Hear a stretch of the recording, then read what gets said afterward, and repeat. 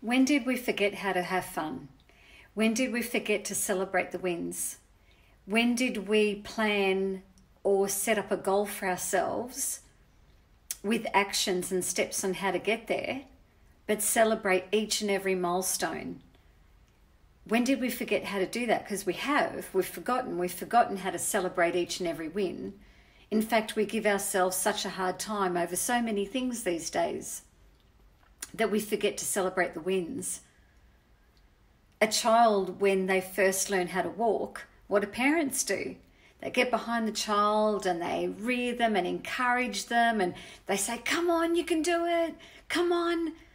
Come on, just take that first step. You'll be fine. Come on. And they cheer and they clap.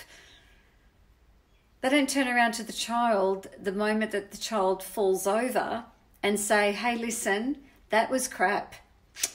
You're not good at this thing called walking. That was crap. Could you imagine a parent saying that to a child that's learning how to walk? We would never do that. So, why do we give ourselves such a hard time when we don't get to the goal faster? It's not a competition. Enjoy the ride, enjoy the fun in getting there. Doing personal development and transformations and all these sorts of things, they're fun. They're not hard. You know, instead of thinking about weight, reword that. Talk about wellness. Talk about internal wellness. Even the word itself sounds so much healthier than weight. We talk about losing weight. We don't talk about shedding weight. Why do we talk about losing weight? What have we lost? We haven't lost anything. We've shed something. We've made a conscious decision to shed something.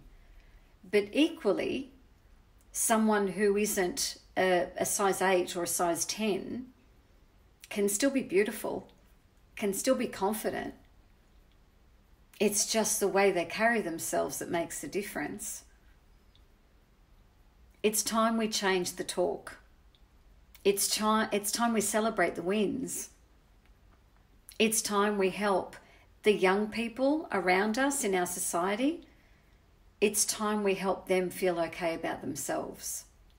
It's time we give them permission to be okay being them. It's that time. It really is. Because there's enough around the world. There's enough hurt. There's enough mental health issues. There's enough stuff. We need to create a wellness society we need to create support for one another. I know it's behind a screen at the moment, but that's okay. But we need to create wellness.